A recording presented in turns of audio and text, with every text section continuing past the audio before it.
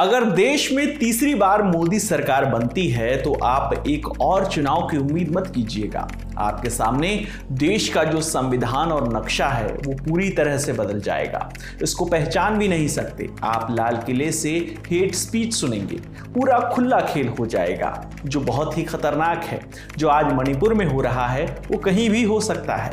किसानों या फिर लद्दाख जैसा हाल पूरे देश में होने वाला है। ये दावा है केंद्रीय वित्त मंत्री निर्मला सीतारमण के पति और नामी अर्थशास्त्री परकला प्रभाकर का। एक इंटरव्यू में जब उनसे सवाल किया गया कि अगर तीसरी बार मोदी सरकार बनती है तो देश का क्या हाल होगा? जिसके जवाब में उन्होंने बीजेपी को जमकर सुना डाला।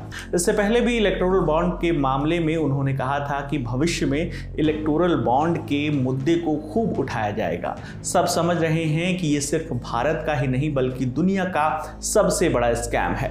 देश के मतदाता सरकार को इस घोटाले की सजा ज़रूर देंगे।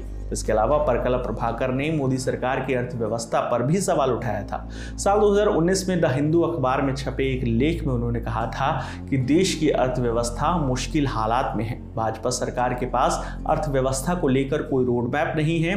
इससे बाहर निकलने के लिए बीजेपी को पीवी नरसिम्हा राव और मनमोहन सिंह के आर्थिक मॉडल को अपनाना चाहिए।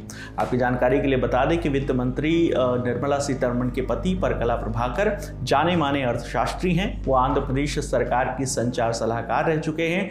लंदन स्कूल ऑफ़ इकोनॉमिक्स के फेलो रह चुके हैं।